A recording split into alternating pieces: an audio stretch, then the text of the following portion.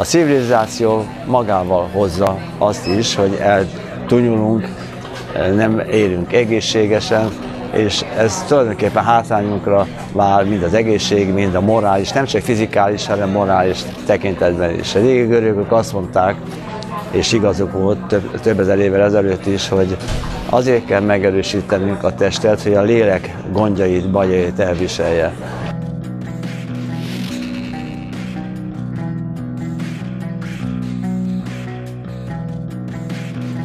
Maga ez a mozgalom egy nagyon jó dolog, a sportágválasztó, és ennek tényleg egy, egy gyöngyszeme maga ez a könyv. Azért nagyon fontos ez, mert a, ugye a mai a sportvilágában a gyerekekkel kell megszeretetni a sportot azért, hogy később az életmódjukba beletartozzon a sport. És nagyon pici korban, meg egész fiatal korban majdnem mindig a szülő dönt, hogy milyen sportot válasszon.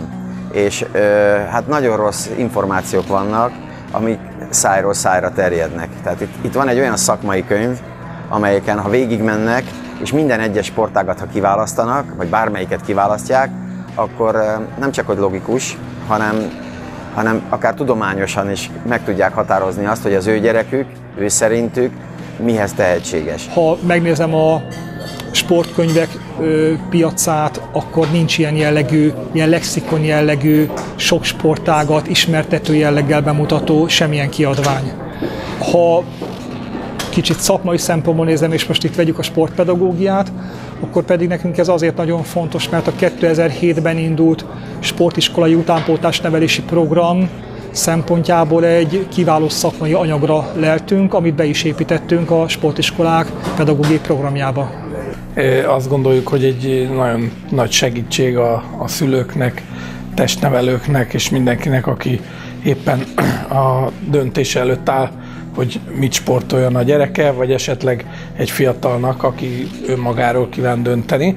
Ha már egyszer sportot szeretne folytatni, vagy kezdeni, akkor ezt ebben megtalálja magának esetlegesen, hogy ki tudja választani azt a sportákat abban a 90-ből, ami ebben a könyvben van. Maga a kiválasztáshoz ez a könyv szinte nélkülözhetetlen. Hiátust pótol ez a, ez a könyv, ez a kiadvány.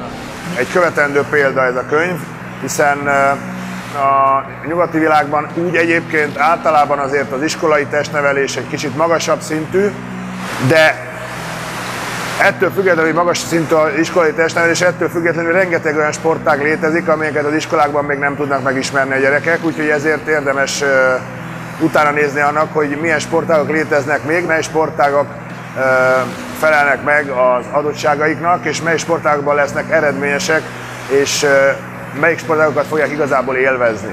Tehát ezért gondolom, hogy unblock ez egy nagyon jó dolog, hogy, hogy ezt így írásba foglalták aztán a, a szakemberek. Ez a könyv tényleg azt a cél szolgálja, hogy egyáltalán felkeltse az érdeklődést, példák vannak benne, nagyon szép fotók.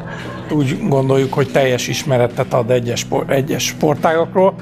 Feltétlenül egy fogékony területre ajánlanám a Nemzetközi Olimpiai Bizottság figyelmébe. Pont azon gondolkoztam ma, hogy erre az interjúra sor került, hogy egyáltalán van-e ilyen bármilyen más országban ilyen sportágválasztó segítség a szülőknek, hogy, hogy milyen sportágat választan a gyerek, és, és szerintem nincs. Más országokban is lehetne ezt forgalmazni, mert nagyon szép kiadvány és egy nagyon jó ötletnek találjuk. Rettenetesen fontos manapság, hogy, hogy mindent el lehet veszíteni, csak az elkölcsöt nem szabad elveszíteni. Pénzünk elvész, állásunk elvész, de ha tartása van az embernek, akkor az nem vészel, és ez maga a play. És a sport benne van a play-ben. És a play nélkül nincs igazán sport. Én ezt gondolom, hogy ez a könyv ezt a cél szolgálja, és egy hasznos ö, kiadvány, amit tankönyvnek is lehetne használni világszerte.